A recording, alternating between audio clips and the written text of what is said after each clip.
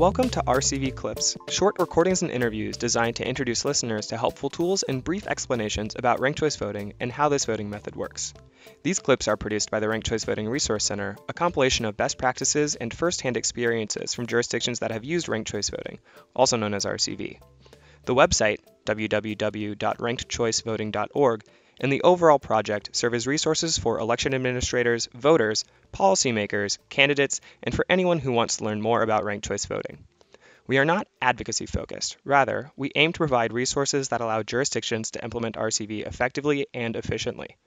The RCV Resource Center team is comprised of former election administrators who have conducted statewide, municipal, and district RCV elections.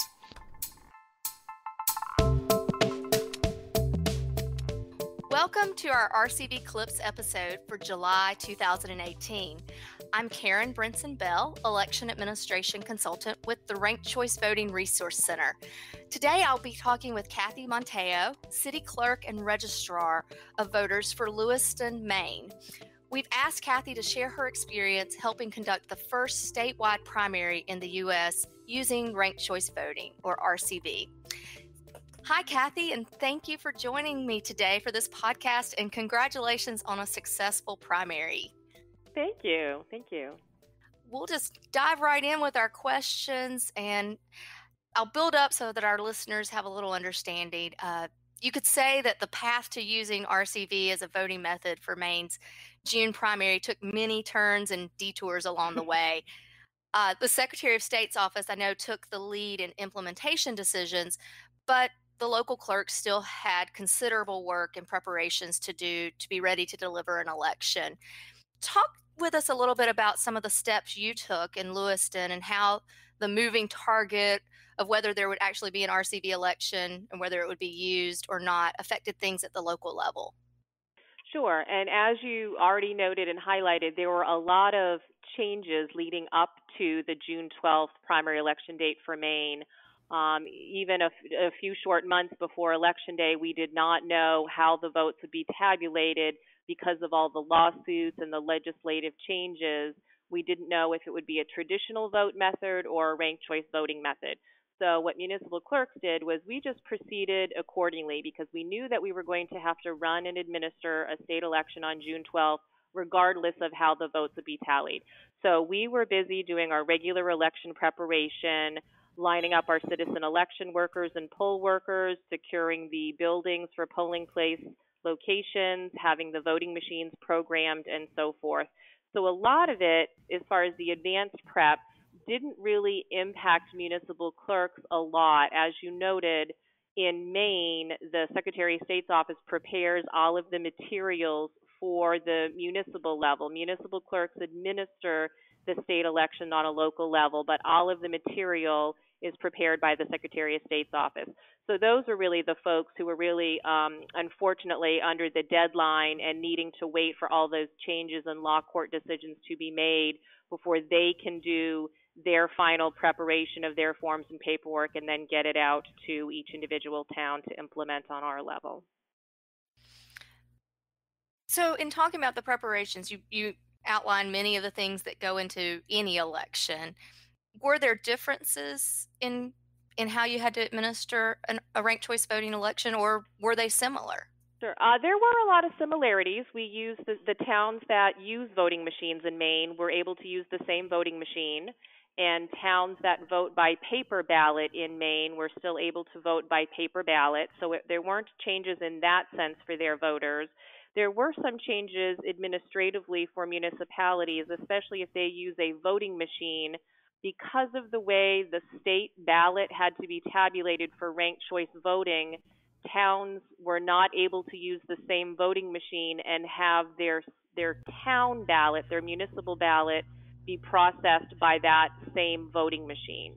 So uh, any town that had a town election on June 12th needed to rent or lease additional voting machines to accommodate their municipal ballots on the same day on June 12th because the state of Maine ballots could only go into the state voting machine because of the way it was programmed to tally the ranked choice voting elections. So that was an additional uh, expense for communities who needed to rent machines if they had a local election that same day. Do you have any sense of whether that, if as RCV continues in Maine, or or if there's still a little bit of questions at times, mm, right. but uh, it looks like it's going to continue based on the referenda and so forth.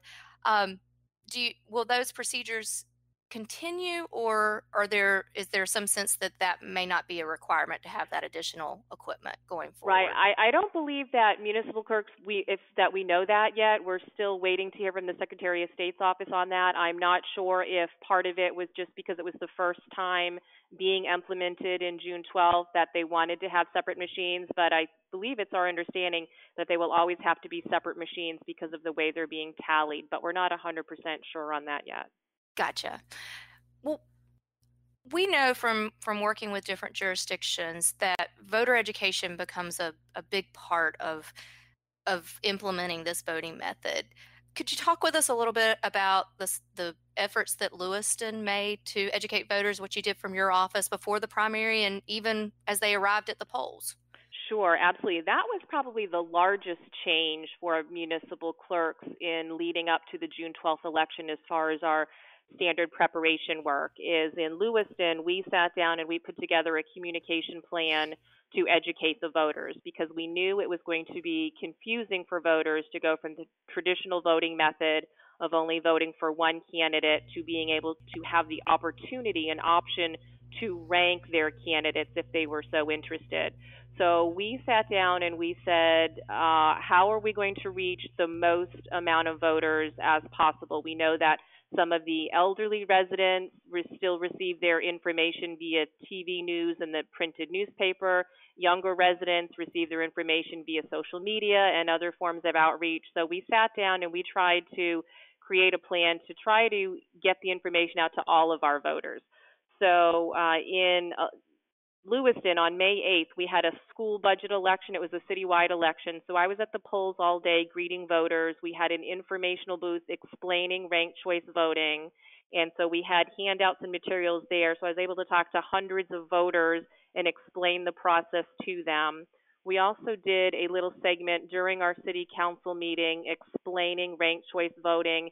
And we actually created a sample ballot and to keep the politics out of it, we created a ballot where people would vote on the, their favorite ice cream flavor and what should the official ice cream flavor for the city of Lewiston be. And so we created a 15 minute video clip and put that on YouTube just showing people how to vote. Uh, we also reached out via our website and our social media, our Facebook and our Twitter accounts. And we also had informational kiosks both at our public library and our city hall we also had some information on our local community access cable TV station. So we really tried to spread the word out as much as possible. I also went to our local senior citizens monthly luncheon event and explained ranked choice voting for their members up there as well. So we really tried to do a lot of outreach. That's probably where most of our time was spent the month or two leading up to the June 12th election for us. Those sound like very similar things that we've learned other jurisdictions have done and and even in my experience i also implemented ranked choice voting in a, a community that had a, a, a pretty large senior population so the mm-hmm. interesting to see the comparison there it, that does mean that you were interacting with voters quite a bit mm-hmm. what were you hearing there at the ground level about their thoughts on on ranked choice voting and and either before or after or throughout the whole thing Sure. Um, a lot of folks, the number one question we received from a lot of folks was if I only vote for one candidate, will my vote still count? And of course, the answer is absolutely yes. So we wanted to reassure them that they were able to vote for as few or as many candidates as far as the ranking of the candidates that they wanted to, and it would still work. So the number one question was is it okay if I just vote for one? Rank one and will it still count? And the answer is absolutely. The other question was do I have to rank every single candidate uh, in the races that have the ranked choice voting, or could I only rank maybe my favorite, my top two or three, and will that still count? And the answer was yes. Uh, a lot of folks seem to, it was almost like uh, the fear of the unknown or the anxiety of the unknown. Once we explained it to folks and they saw the sample ballot, they said, oh, that's not as bad as I thought. Uh, seemed to be the reaction from a lot of folks. So they really just had to see it and learn about it. And after a couple minutes, they said, oh, well, this makes perfect sense and I understand it. And again, they just wanted to know what options they had. Could they vote for everyone or would they have to vote for everyone or just a few? And once they knew that they could vote for just a few, they seemed to be pleased with it. Uh, certainly, some folks were still confused by it. Uh, other folks basically are probably tr- more traditionalists and just didn't care for it, and that was certainly their choice. The other, I think, uh, confusing part for the voters is that it didn't apply to every single race on our ballots, because of course it's only if there are three or more candidates in a particular race you would be ranking them. So in the primary, we had some races, particularly the gubernatorial races for both the Democratic side and the Republican side, had more than three candidates running. So those were done by ranked choice voting, but the other ones may have only, uh, the other races on the ballots maybe only had one or two candidates running, so you wouldn't be ranking those. So it did seem confusing for voters to be able to rank some races, but not all races on their ballot. Any other takeaways of best practices or experiences that you could offer to jurisdictions who are on the verge of administering RCV for the first time, or or even if they've if they've had the experience but are looking at ways to improve their processes? Right. I think it, I would just recommend doing a communication plan and sitting down to plan how you're going to educate your voters and all the wide range of voters that you have in your community. As we noted, the younger folks, the senior citizens, uh, we are actually gearing up to do that again because in November we will also have ranked choice voting on our November ballot, and November, of course, being a general election. So Maine has a closed primary. We're a closed primary state. So in order to have voted in our June 12th primary, you would have needed to have been enrolled in the Democratic Party or enrolled in the Republican Party. And if you are not enrolled in a party, if you're a registered voter but not affiliated with a political party, you were not able to vote a candidate ballot last month. However, in the November election, you will be able to. So we are anticipating having thousands of additional voters in November who will be voting this method for the first time because they weren't eligible to participate in the June election. So we're planning to gear up all of our communication and outreach again. So that would be my number one recommendation to other communities is just to make sure that you have a really great communication plan and you cover the full uh, spectrum of your voters in, in different platforms, social media, print media, and so forth. I think those are very wise words. It did make me think was there anything you did differently in terms of your poll worker training? We did. Well, we educated the, the workers about uh, the process because we knew that they would be on the front lines. We have seven different wards in Lewiston, so seven different polling places. So we knew that our citizen poll workers would be on the front lines answering questions from the voters so we provided additional training uh, for them as well, just to make sure that they were familiar with the process as well.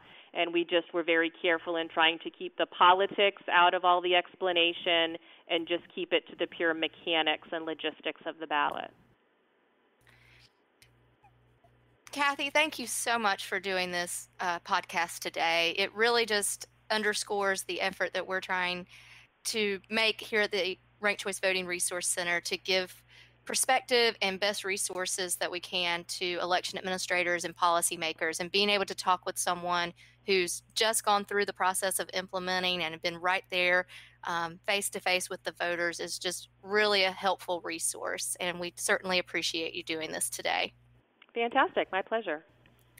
Thank you and for those who want to know more about Maine's ranked choice voting process, we're excited to announce that next Thursday, August the 2nd, 2018, we will actually have a webinar presented by Secretary of State Matt Dunlap at 1 p.m. Eastern Time to give his firsthand perspective of how the process went in Maine. So stay tuned for that. Thank you for joining us today for our July RCV clip. The resources Kathy mentioned are available in the notes section of this episode. We'd also like to take a moment to thank Morgan Chance as she completes her fellowship with the Ranked Choice Voting Resource Center. Morgan's dedication and hard work have been instrumental in the launch and production of this podcast series. The elections administration profession is fortunate to have her as part of their ranks.